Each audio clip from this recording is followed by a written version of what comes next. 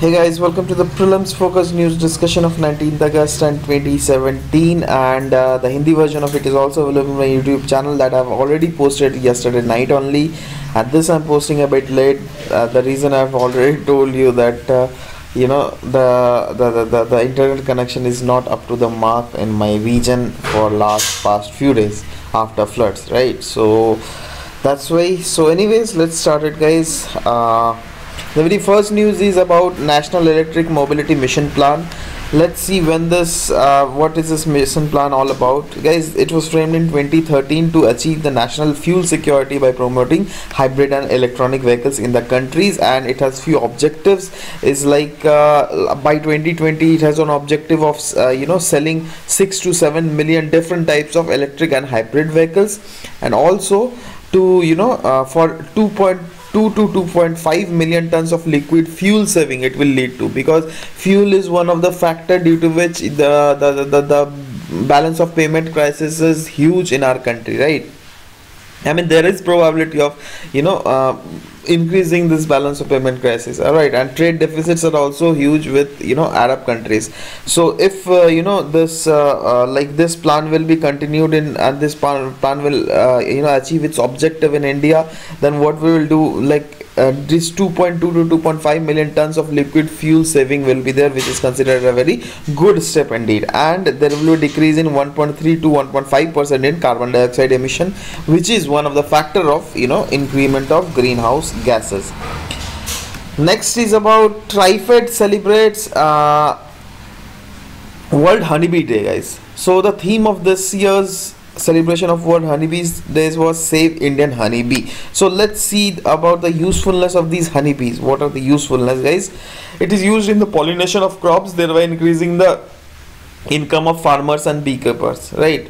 Farmers and beekeepers are directly dependent on it. Means whosoever is included in this horticulture uh, type, so they are directly included in bees, and bee are one of bees are one of the you know uh, major factor which leads to pollination of crop. Now pollination what it does is like uh, it takes the like these bees are take takes the pollen from one flower and put it in other flower and lead to fertilization right?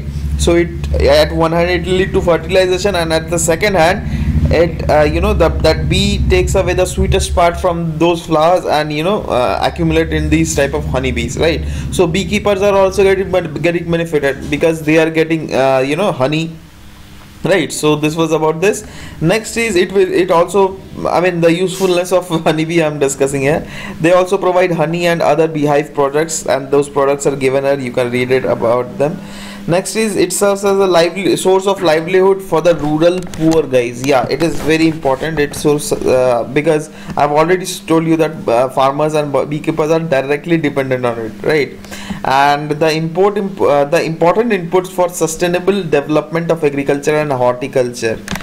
Hana? So this was about this. Uh, Trifed celebrates World Honeybee Day. Now let's see what is Trifed है then you will get the holistic picture of what this uh, celebration is all about right now the full form of TRIFED stands Tribal Cooperative Marketing Development Federation of India Limited and it is an apex organization at national level and functioning which is uh, coming under the Ministry of Tribal Affairs. Just remember it guys they might ask you directly this question that under which ministry it comes right so though if if this full form will be given you will just you know very clearly jot down because the very first word is tribal. So you can you know um, guess also that it is coming under the ministry of tribal affairs.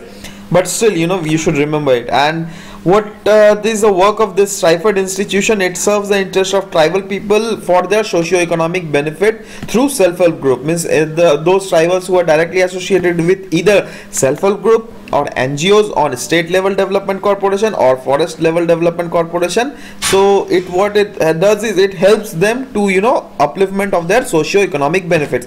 Now guys one more important point was given in the article so i thought of jotting it down. And that is becoming very important because whenever you write answer main mains answer related to tribal thing then you know you if you remember these facts then it will be you know like an add-on to your answer right? So let's see. About 90% of the scheduled tribes of the countries lives in and around forest area and the forest provides 60% of the food and medicines need for tribals right? So these are the very important factual points guys. And for 40% of their income from minor forest produce are mostly directly coming from the honey production. All right. So this was about it. Next is Mekedatu dam was in news guys because the Supreme Court has asked the Karnataka and Tamil Nadu government to envision the Mekedatu dam product as a facility to store excess water from the Karnataka, which could be, you know, at the time of need or at the time of lean season, be discharged to the Tamil Nadu, right? So basically, Karnataka government is, uh, you know, trying to make uh, uh, a Mekedatu dam in, you know, this Kaveri river to store water. So that's why Supreme Court has said that is there any provision in which you know in lean seasons or the seasons in which the Tamil Nadu government need water so through this Mekedatu dam you know they can you know impart those water to uh, Tamil Nadu? Is there any provision? So these are the talks going on in Supreme Court as of now. So we'll see the as, as the question I mean as the topic you know takes uh, a new leap. So we'll discuss about it later means the major takeaway was the where is Mekedatu dam project constructing right? So you have to remember this. Next is Harit Diwali Swasth Diwali guys.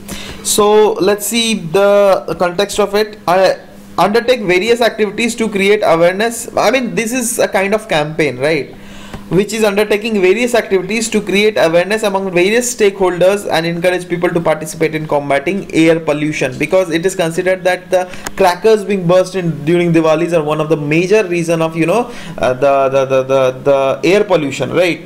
Because it uh, you know it leaves harmful chemicals in air. So if that harmful chemicals is being you know inhaled by persons then you know uh, there is probability of being sick right? So that's why this is kind of campaign that is Harit Diwali and Swastha Diwali. So under this, they want to you know create awareness among the uh, among the people that what are the negative impact of these you know bursting crackers and urging people not to burst crackers this Diwali. Right? That's why they have said it Harit Diwali means eco-friendly Diwali.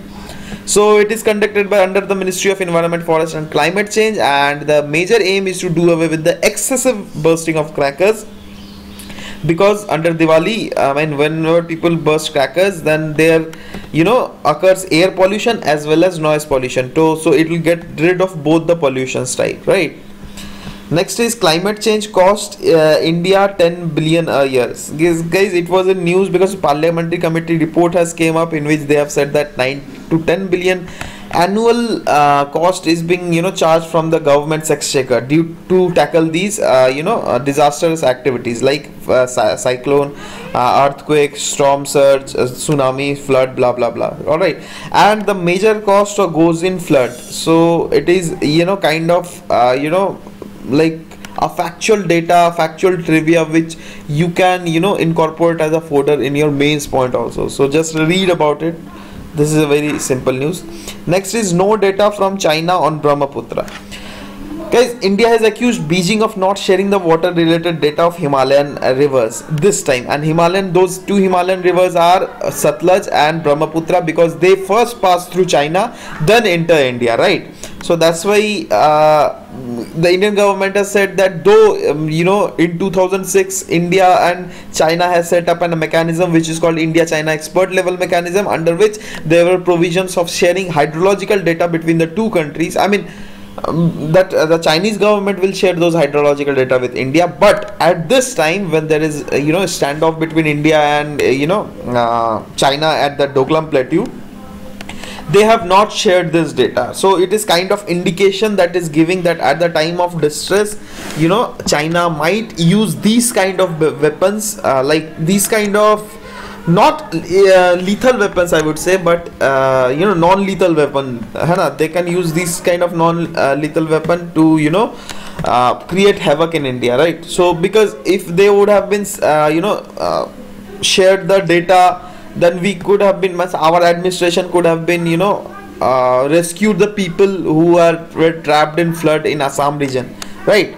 So that's why they are telling that it is one of the uh, like humanitarian crisis that have been caused by the uh, you know negligence of chinese government in india right Next is tracking and data relay satellite. Guys, NASA has successfully placed its next generation tracking and data relay satellite, which is called T uh, DRS. That is a full form of what I have already discussed now, right? Now, it is a, basically a series of next generation communication satellite which will be put in geosynchronous orbit. That's why it is called geosynchronous communication satellite. And what are the aim of it? It will provide navigation and high data rate communication to the international space station nasa hubble telescope uh, rockets blah blah blah.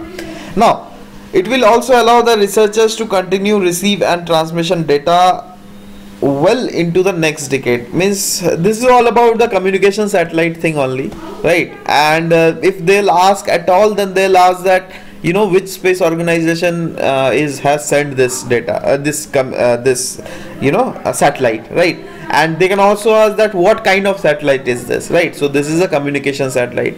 So these kind of you know trivia which are the thing which you have to actually remember to you know deal with such kind of questions next is about artificial womb guys. Uh, just see this. Can you see this uh, sac right? It is kind of artificial womb under which a lamb has been you know checked whether this artificial womb is working or not. See they have made i mean scientists have made this artificial womb because there were there are many cases of premature birth coming throughout the world not only in india right? So in case of premature birth what happens is like there the mortality rate of children become very high. Now if they are giving such uh, means facilitating some, some such kind of artificial womb then you know that uh, baby who's born before birth can be put in this artificial womb right? So it will be it is considered a very you know uh, technological breakthrough and uh, it is telling that you know uh, that the mortality rate could be reduced in future uh, so let's see about a bit uh, factual things about artificial womb artificial artificial womb raises hope for premature babies and it is kind of incubating health baby lamb because baby lamb i've already shown in you uh, you in that picture. So that uh, uh, incubation has been provided to that baby lamb and the experiment has been totally successful right? And uh, it is a basically a healthy and infection free condition in which amniotic fluid bath is given and with artificial placenta. What is placenta? That is a biological term totally. I mean the when the baby is kept in you know inside the mother's womb then what happens is through placenta there is a you know cord connected uh, through which the baby gets the food and all stuffs right? So that kind of artificial placenta is given in this uh, also right? To for to allow baby to you know take food and other things and amniotic fluid bath is given. Means because when uh, the baby is inside the embryo of the mother then it, she is under the uh, some kind of fluid right? So that that fluid bath is given. I mean the the same uh, environment is given in this you know uh, this, this this artificial womb also right? And the membrane oxygenator. See oxygenator what is this oxygenator is i'll show you. This one is the oxygenator through which the heart pumps blood which flows through the un, uh, umbilical cord uh, to an oxygenator and then back right? So means oxygenator this uh, this is due to the uh, you know uh, ensure the flowing of blood right? So this was about it guys. Uh, if you are new to more research on it then you can surely google it because google is awesome thing and the main points i've already discussed right so yeah this was about it. We'll meet in next class. Till then bye bye thank you for listening to me guys. Thank you very much